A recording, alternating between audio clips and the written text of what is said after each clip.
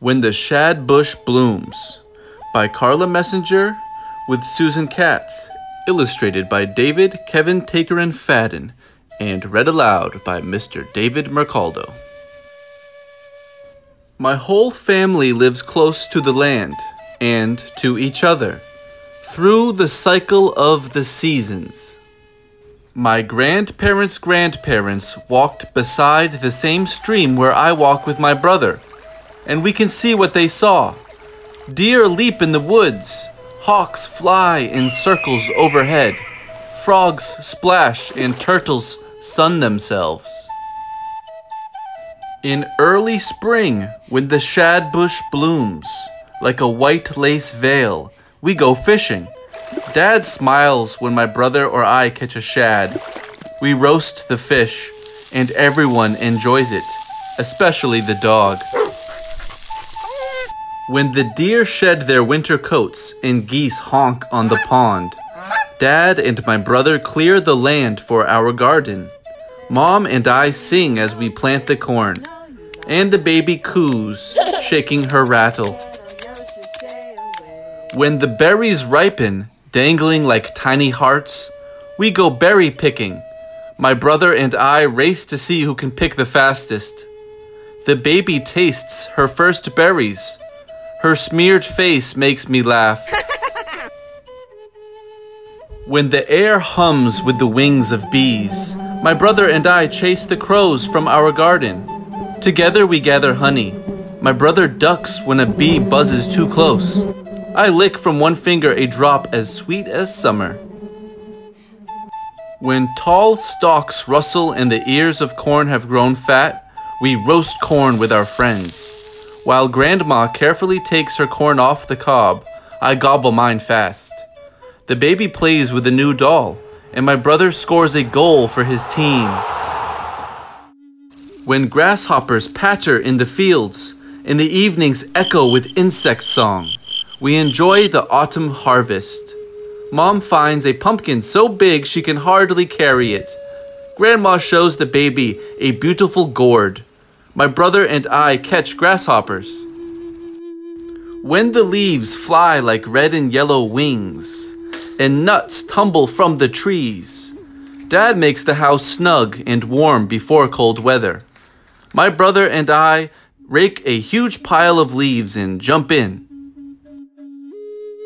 When gray skies drop flakes that glitter like falling stars, my brother and I climb the hill Grandpa gives us a push at the top, and we fly down. The dog races after us, barking. When the days grow short, and trees creak and crack with the cold, Grandma mends our winter clothes, and Grandpa tells us all stories. While we settle in, Mama fixes a snack. I ask to hear my favorite story twice. When ground squirrels dig in the drifts of snow and birds perch on frozen branches, the boys start a snowball fight with the girls. Mom stocks the house with food. My brother and I remember to share with the animal people.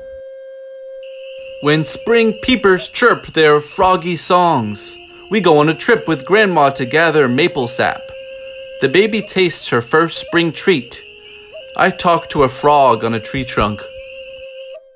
As the seasons circle around once more, my brother and I walk to the stream. We watch for the shad bush to bloom again, as my grandparents' grandparents did. The end. About the Lenni Lenape. Before contact, our people, the Lenni Lenape, which means first real or original people, lived in a vast forest that covered parts of what are now called Pennsylvania, New York, New Jersey, Maryland, Delaware, and Connecticut. We were hunters, fishers, and farmers, and our villages were located along the banks or tributaries of a river that we call Lenape Wittatuk, the river of the people. The Europeans renamed our river the Delaware in honor of Sir Thomas West III, or 12th Baron de la Warr, governor of Virginia. Because we lived along the river, they called us the Delaware Indians.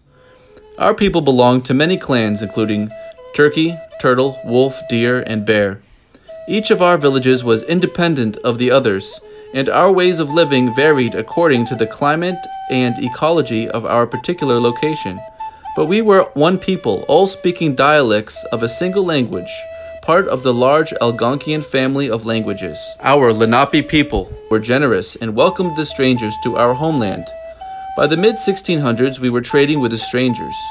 We gave them food, furs, and hides, and they gave us brass and iron pots and metal knives and axes. But by the beginning of the 1700s, the abundant land that had fed us and taken care of us for centuries was suffering. While market hunters were killing off our game animals, farmers and lumbermen were clear cutting our forests and damming, polluting, and overfishing our rivers and streams. And eventually, the settlers' encroachment made life impossible for us and forced most of us to migrate north to Canada or west to places from Ohio to Oklahoma. While some of us remained here, our lives were very difficult, and by the 1900s we were hiding in plain sight and struggling to survive. Only recently, in the late 20th century, have we begun to reclaim our language and histories, our wisdom and knowledge. We are reclaiming our ceremonies and songs, our stories and art. We are reclaiming and cultivating our medicine plants. We are reclaiming our old ways of making and using flint, stone, bone, and wood tools. We are reclaiming our old ways of making beautiful deerskin clothing with naturally dyed quill work. Although we work in the modern world as truck drivers, teachers, factory workers, and chiropractors, we are reclaiming how to live in the natural world. Look around, we are still here. We continue to practice our people's traditions and to follow the circle of the seasons. About the Lenape seasons. Unlike the European calendar, which assigns a fixed number of days to each month, sun, moon, and the natural world have also guided our lives.